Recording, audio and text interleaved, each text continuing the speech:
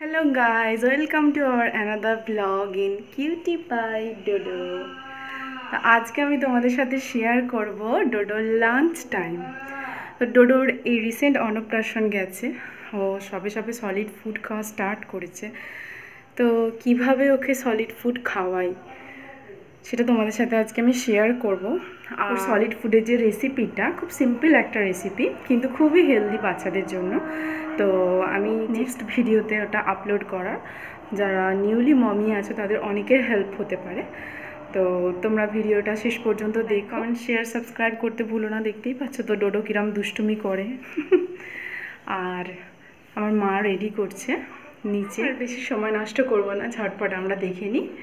নিচে গিয়ে এভাবে আমি ডোডোকে সলিড ফুড খাওয়াই। তো দেখো, এখানে আমার মা খাবার রেডি করেছে। এখানে কিছুটা ভাত নেওয়া হয়েছে আর ওর জন্য একটা ভেজিটেবলসের স্যুপ বানানো হয়েছে। আর আজকে বাজার থেকে বাবা টাটকা মোড়লা মাছ পেয়েছিল, তো সেটা দিয়েই বানানো হয়েছে।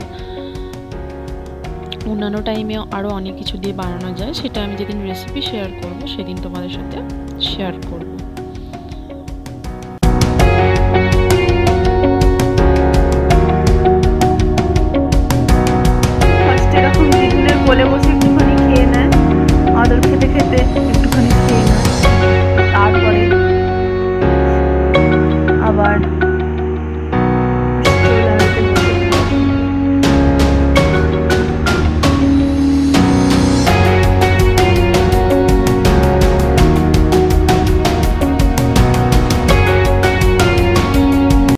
তো দেখো, এখন তো খুবই ছোট, সাড়ে আট মাস মতো বয়স।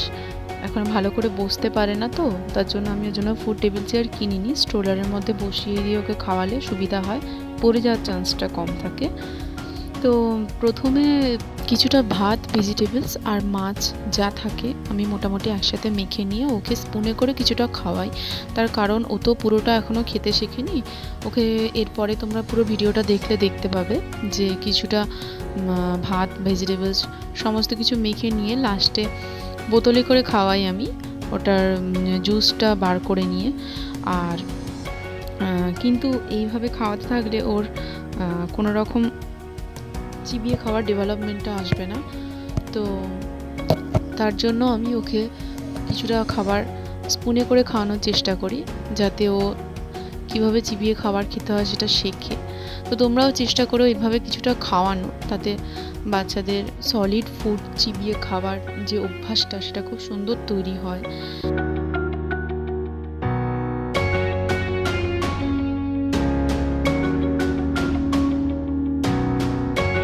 তার সঙ্গে এটাও বলে রাখি, বাচ্চারা সলিড ফুড খাওয়া স্টার্ট করলে বাচ্চাদেরকে কিন্তু জলটা ঠিকঠাকভাবে মেনটেন করা উচিত। সবসময় সলিড ফুড খাওয়ানোর সাথে সাথেই বাচ্চাদেরকে জল খাইও তাহলে বাচ্চাদের অনেক কনস্টিপেশনের প্রবলেমও দূর হয়।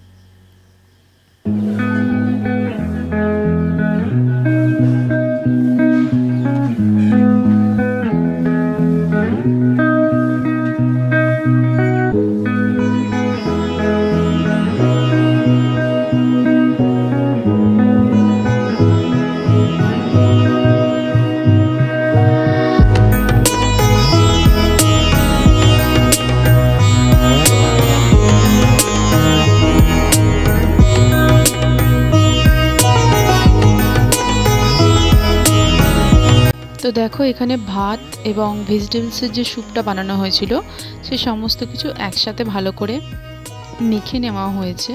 কারণ ওকে আমি প্রথমেই বলেছিলাম যে ওকে আমি বোতলে করে খাওয়াই, পুরোটা ভালোভাবে খেতে শেখেনি এখনও।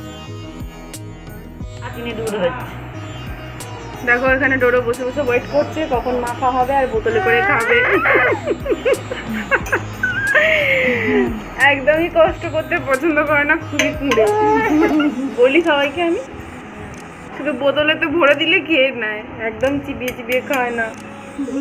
তো দেখো, আমি যেহেতু ওকে বোতলে করে খাওয়াই, সেই জন্য আমাকে ভালোভাবে এটা ছেঁকে নিতে হয়, তার কারণ নইলে বোতল দিয়ে ঠিকঠাকভাবে জিনিসটা আসে না। অনেকে গোদল বাটিতে করেও খাওয়ায়। তো তোমাদের যেটা সুবিধা মনে হবে তোমরা সেটা করতে পারো। আর অবশ্যই চেষ্টা করবে যতটা সম্ভব এমনি খাওয়ানোর। বোতলটা এড়িয়ে চলার। ও একদমই ছোট, এখন চিবিয়ে খেতে পারে না, দাঁতও বেরোয়নি, তাই জন্য আমাকে বোতলটা ইউজ করতে হয়।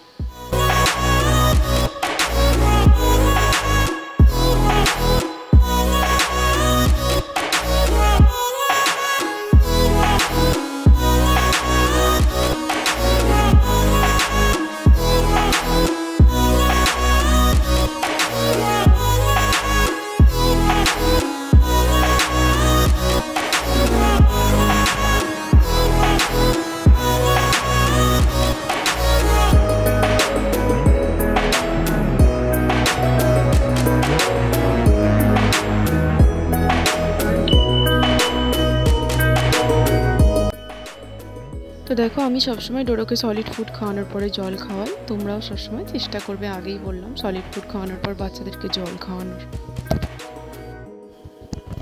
ভিডিওটা কেমন লাগল অবশ্যই জানিও, আর ভালো লাগলে অবশ্যই লাইক কমেন্ট শেয়ার সাবস্ক্রাইব করতে ভুলো না। থ্যাংক ইউ ফর ওয়াচিং সবাই ভালো থেকো, সুস্থ থেকো, বাড়িতে থেকো।